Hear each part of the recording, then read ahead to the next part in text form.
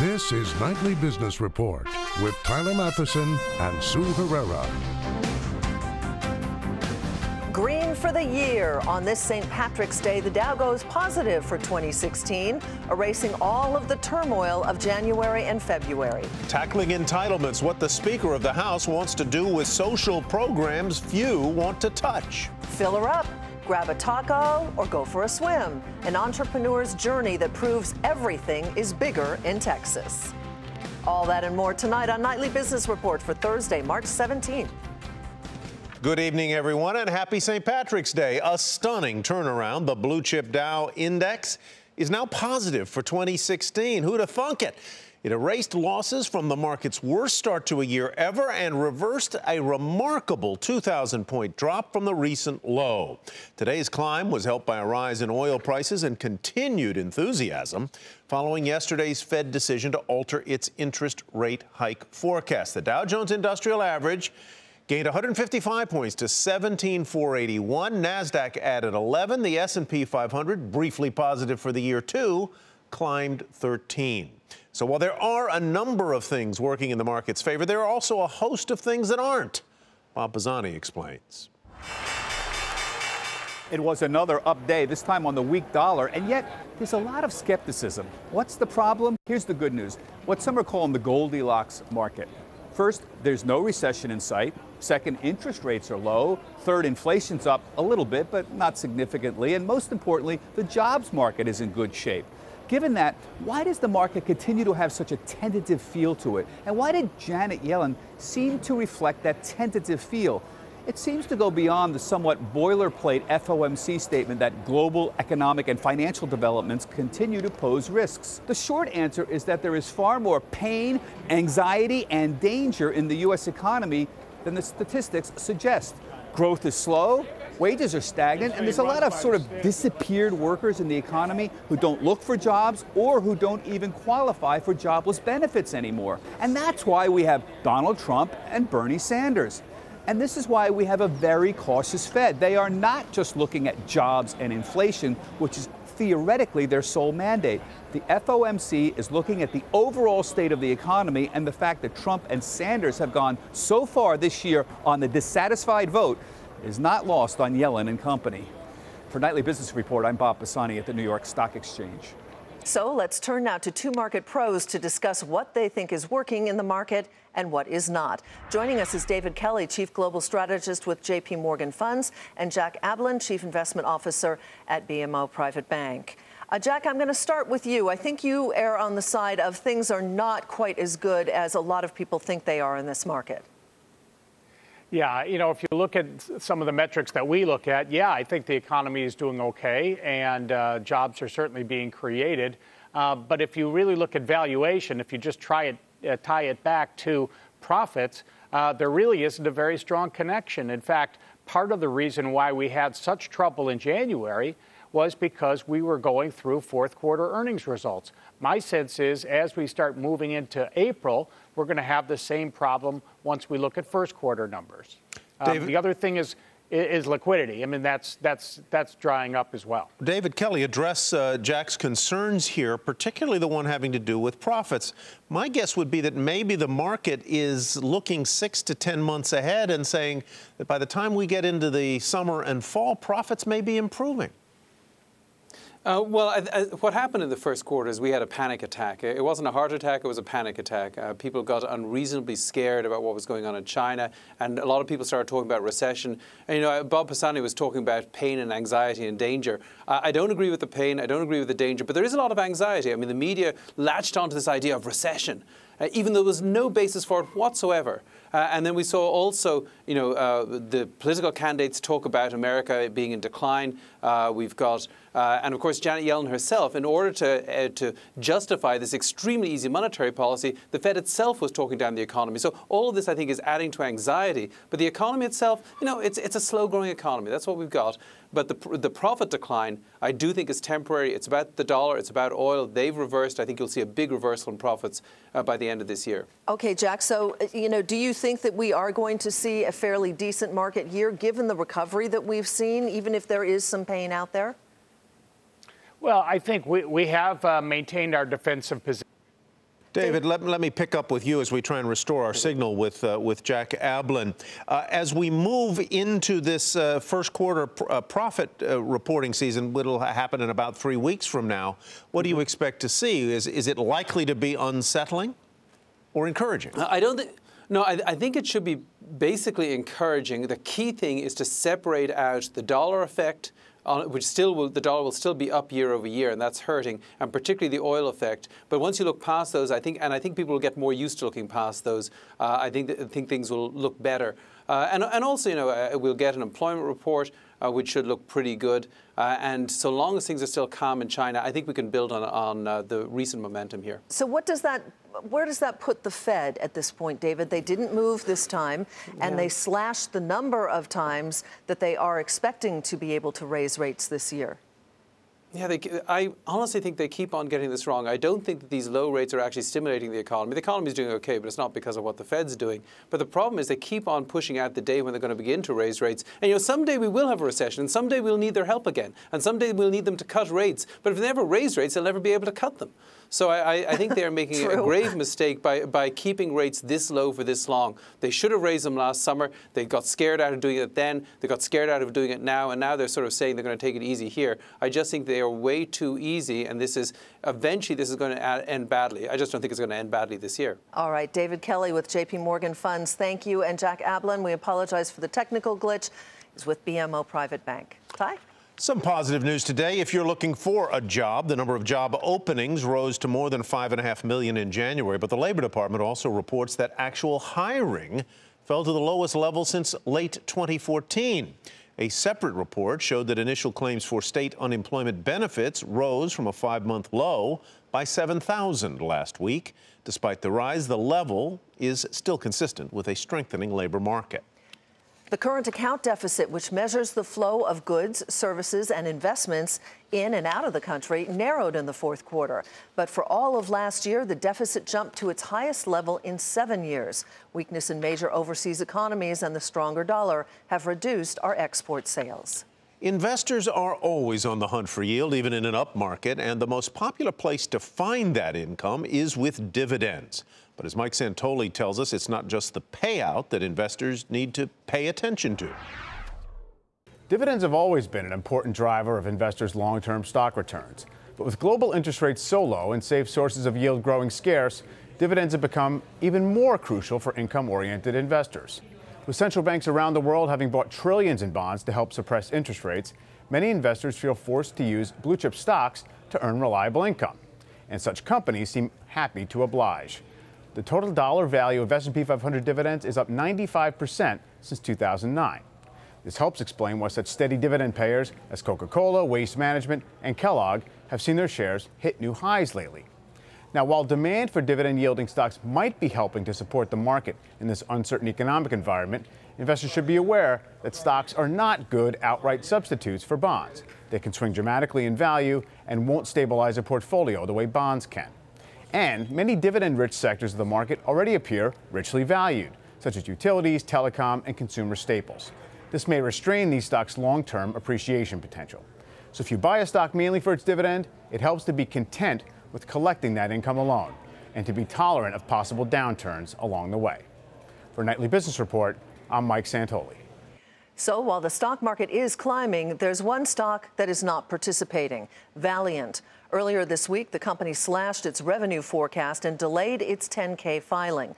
But the selling in the stock began months ago on accusations by a short seller and scrutiny from Washington over drug price increases. This year alone, shares are down about 70%. And as Meg Terrell reports, Valeant's creditors are starting to get antsy. The uncertainty continues for Valeant Pharmaceuticals. The biggest immediate concern? The company's more than $30 billion of debt. Because the embattled drug maker hasn't filed its annual report for 2015, it risks triggering defaults with its bondholders. The company says it'll negotiate with its creditors to extend the deadlines, though some fear the terms could be onerous.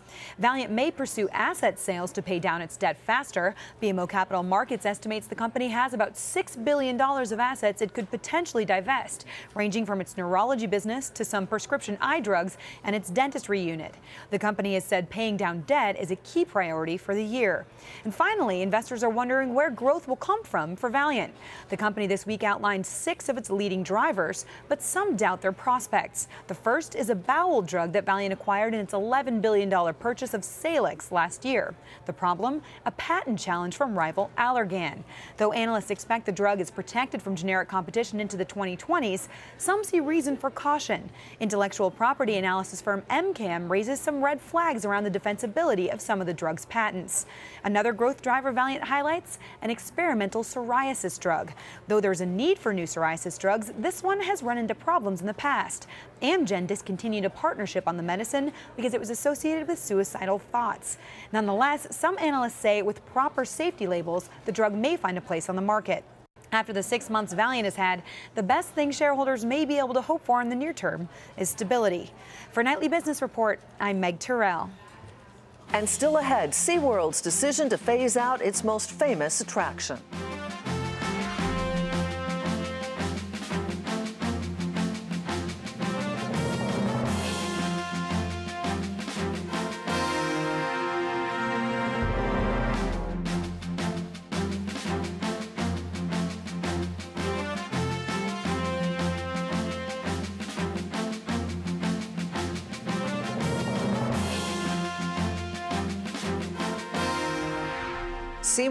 Getting a makeover. Under pressure from critics, the theme park operator is getting rid of its killer whale shows, the one thing it's best known for.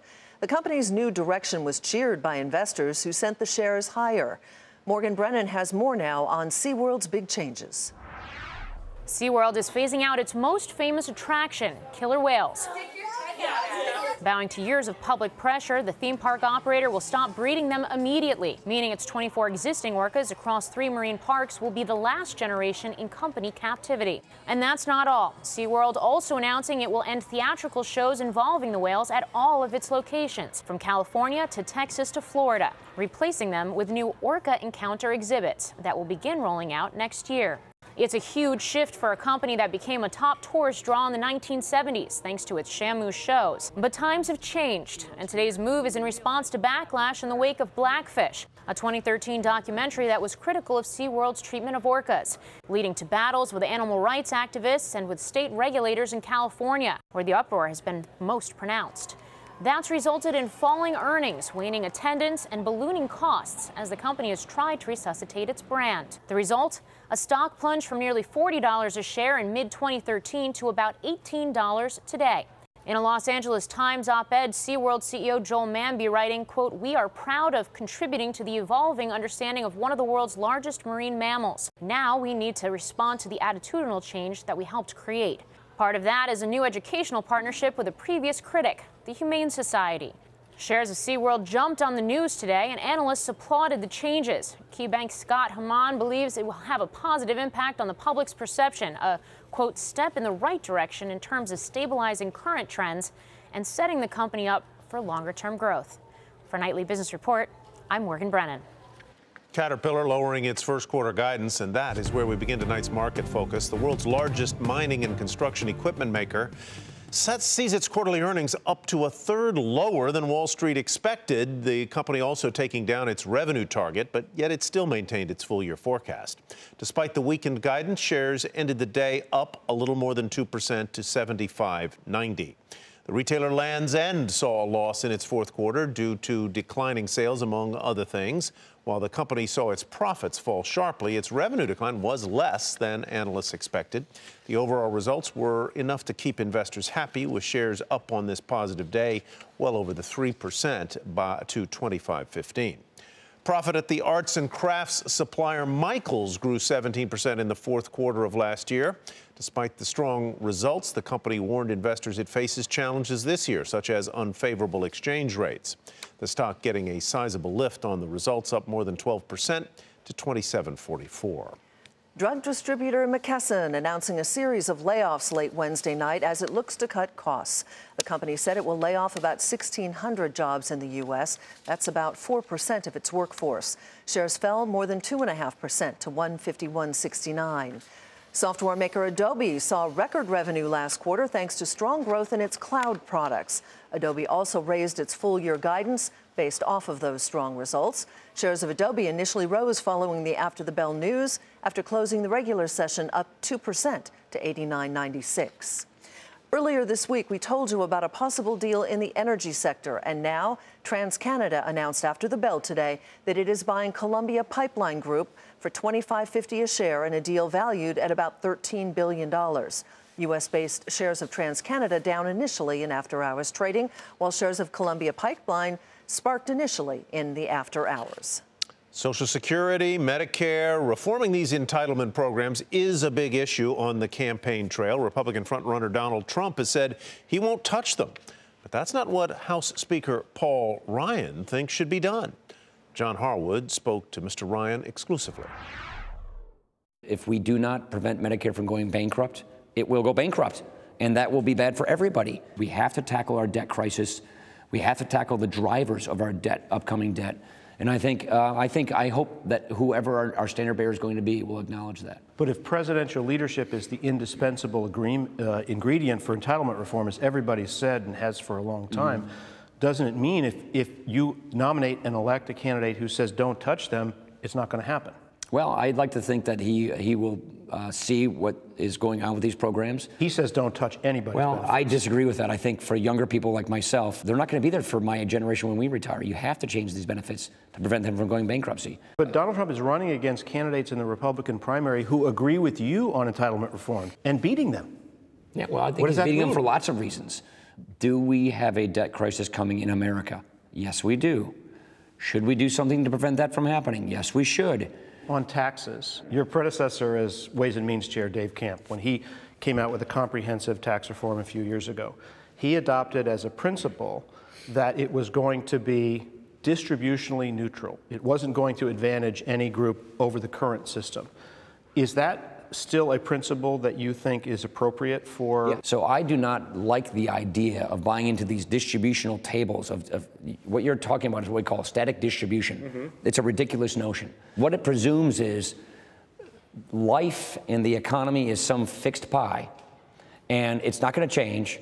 And it's really up to government to redistribute the slices more equitably. That is not how world the world works. That's not how life works. And you're not worried you can shrink those... or expand the economy and what we want to maximize is economic growth and upward mobility so that everybody can get a bigger slice of the pie. But you're so not worried that those blue collar Republican voters uh, who are voting in these primaries right now are going to say, hey, wait a minute.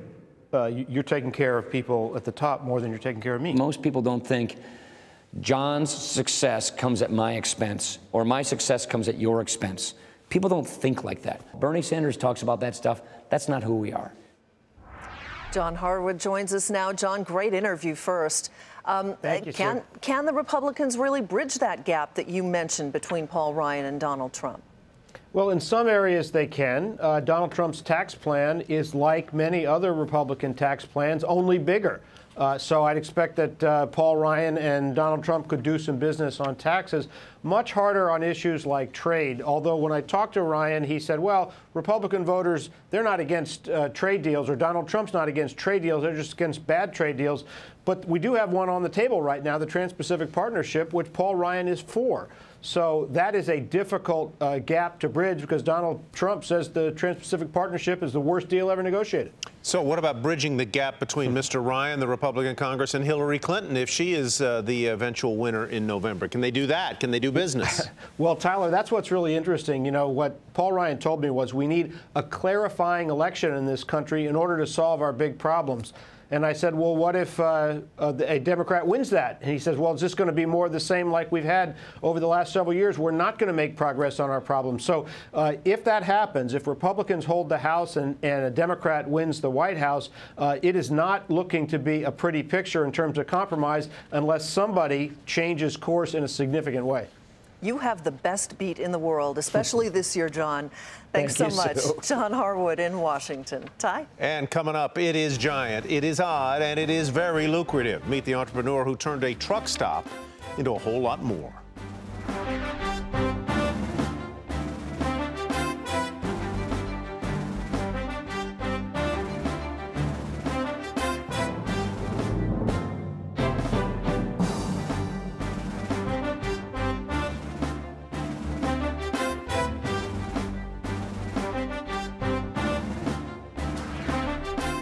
Most every car in the U.S. will have automatic emergency braking by the year 2022. Yesterday, we told you the deal was close to being announced, and today, 20 automakers made it official. The safety feature will be standard on most new cars in just a few years. Nike goes back to the future with self-tying sneakers. The shoes have power-operated laces. As soon as you put your foot in, you press a button and they tighten up. Look at that. Whoa. I think there's a wide range of people that are really interested in this whole self-lacing adaptive performance. Uh, obviously, you have the sneakerheads who are all over it. I mean, this has been a buzz for them for years. There was actually a write-in petition to Nike to power through and get the power laces in uh, a product. So uh, it's, it's great to be able to put a product out there that is, is a step toward the future of adaptive performance. And Nike plans to sell them later this year in the increasingly tech-driven athletic market. As they say, if you build it, they will come. And that's exactly what happened to one entrepreneur who opened a gas station in Dallas. But not just any old gas station. Jane Wells has the story. Fuel City, is a gas station with cheap gas and easy freeway access in the middle of downtown Dallas. Last year, sales reached $25 million. What? How? We'll have eight or ten people here at night making tacos. Karaoke is in front of the palm tree. It's on the weekends. We've got a swimming pool, uh, which is a lot of fun. We have a dinosaur. You might call it a truck stop, but owner John Benda won't. I say it's someplace where dreams come true, Fuel City. This is our strangest success yet. I love to work. I worked in department stores, was a lifeguard, was a substitute teacher, interviewed to be Bozo the Clown in South Texas when I was going to college. This serial entrepreneur started Fuel City in his late 40s. I was doing jury duty down the street, and during lunch break, I found this spot. This spot is eight acres where in 1999 Benda hoped to recreate his childhood ranch. I wanted a way to enjoy a ranch but have it in a city and let people see what Dallas looked like before it was a city. And when I got started in, in 99, it was real hard to sell it to a bank because I, when I showed them the swimming pool, they said, a swimming pool at a convenience store? I said, no, no, no, it'll be cool. People want to come. The store cost four and a half million. I borrowed three and a half million. I put up a million dollars to buy the land and finance this. I had to put a second mortgage on my house. And then it was such a phenomenon. When I opened up, I thought nobody's going to come. How many tacos do you sell a day? A lot. I had a graph on the wall and I would graph my bank balance every day. And if I was going up, I was making it. If I was going down, I wasn't going to make it. 17 years later, Benda has expanded to two fuel cities, which did $39 million in sales last year, 80% from fuel. Two more are planned, even as Benda keeps testing what you might call city limits. Uh, we've had uh, white buffalo, got a ticket from the city because they said you can't have buffalo in downtown Dallas, zebras and camels and got in trouble for that and had to take them out. I'm thinking about putting in kangaroos. I think in the next five years I'll have a couple of giraffes. Wouldn't that be cool? The rest of this 65 year old's bucket list isn't nearly so strange. I have goals in increasing my net worth. That's probably my number one thing. Two? $70 million by 70. How much are you making? How much am I making? A lot. For Nightly Business Report, I'm Jane Wells. Stories you will only see here on Nightly That's Business right. A Report. six pack and a giraffe. There you go. And a swimming pool. Don't forget the and swimming fill pool. her up. Whoa. All right, before we go, let's take another look at the rally on Wall Street, shall we? The Dow Jones Industrial Average gained 155 points positive for the year now. Uh, at 17,481. Nasdaq added 11, and the S&P 500 nipped into positive territory. Couldn't quite hold it. It finished higher by 1337. I think he might have trouble with the kangaroos. Yep. That does it for Nightly Business Report. I'm Sue Herrera. Thanks for watching. We want to remind you this is the time of year your public television station seeks your support. And thank you from me as well. I'm Tyler Mathisen. Have a great evening, everybody. We'll see you tomorrow.